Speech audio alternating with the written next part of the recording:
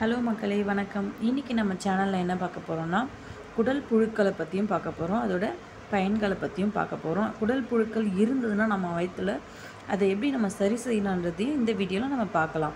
இந்த வீடியோ உங்களுக்கு பிடிச்சிருந்ததுன்னா லைக் பண்ணுங்கள் ஷேர் பண்ணுங்கள் கமெண்ட் பண்ணுங்கள் மறக்காமல் சப்ஸ்கிரைப் பண்ணிக்கோங்க. வாங்க வீடியோக்குள்ளே போகலாம் குடல் புழுக்கள் என்பது ஹஸ்மின் ஹஸ்மின்தஸ் எனப்படும் சிறிய உயிரிகள். இது அசுத்தமான மண் காய்கறிகள் தண்ணீரில் கண்ணுக்கு தெரியாமல் உள்ளன. சரியான தூய்மை சுகாதாரம் பராமரிக்கப்படாத போது இது குடலை அடைகிறது.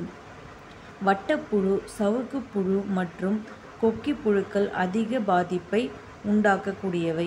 இந்த புழுக்கள் தங்களுக்கு தொற்று ஏற்படும் நபரின் திசுக்கள் இரத்திலிருந்து அவற்றின் ஊட்டச்சத்தை பெறுகிறது. இதனால் பாதிக்கப்பட்டவர்கள் பலவீனமடைகிறார்கள். புழுவின் வகை பொறுத்து அதன் இரத்த சோ- சோகையை எதிர்கொள்ளும் வாய்ப்புண்டு. குழந்தைகள் இருந்தால் ஊட்டச்சத்து இல்லாமல் ஆகும். மேலும் உடல் மற்றும் மன வளர்ச்சியில் பின்னடைவும் உண்டாகும். ஒற்றுண்ணி தாக்குதல் வயிற்று வலி தளர்வான அசைவுகள் வாய்ப்பு வாய்வு இரத்த சோகை மற்றும் பல பிரச்சனைகள் உண்டாக வாய்ப்புண்டு. வாங்க இப்போ வந்து நம்ம இந்த வீடியோவில் என்னென்ன பண்ணால் இந்த குடல் புழுக்கள் வந்து போகும் அப்படின்றத ஒரு சின்ன சின்ன டிப்ஸ் வந்து நம்ம பார்க்கலாம். ஃபஸ்ட்டு பார்த்திங்கன்னா பூண்டு. பூண்டு எடுத்துக்கிட்டிங்கன்னா நம்ம உடம்புக்கு வந்துட்டு ரொம்பவே நல்லா யூஸ்ஃபுல்லாக இருக்கும். பூண்டு பூண்டுக்கு மிஞ்சிய வைத்தியம் எதுவும் இல்லை என்று சொல்வார்கள் வெள்ளை பூண்டை எடுத்து தோல் உரித்து வெறும் வானொலியில் வறுக்க வேண்டும். ஒருவர் மூணு மற்றும் மூணு பல் பூண்டு மற்றும் எடுத்துக்கொள்ளலாம் வாசனை போக பூண்டை வறுத்து காலையில் வெறும் வயிற்றில் வாயில் போட்டு கடித்து பொறுமையாக மெல்லவும்.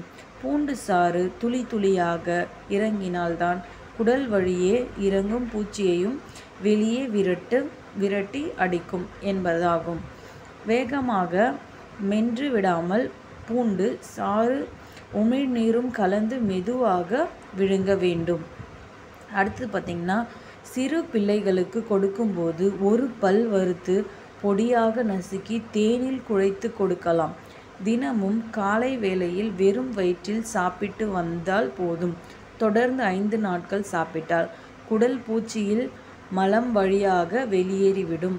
மூன்று மாதங்களுக்கு ஒரு முறை இதை சாப்பிட்டால் போதுமானது. அடுத்தது பார்த்திங்கன்னா விளக்கெண்ணெய். விளக்கெண்ணெய் பார்த்திங்கன்னா இது இதுக்கெலாம் யூஸ் ஆகுதுன்றதை நம்ம பார்க்கலாம். முக்கியமாக குடல் புழுக்களை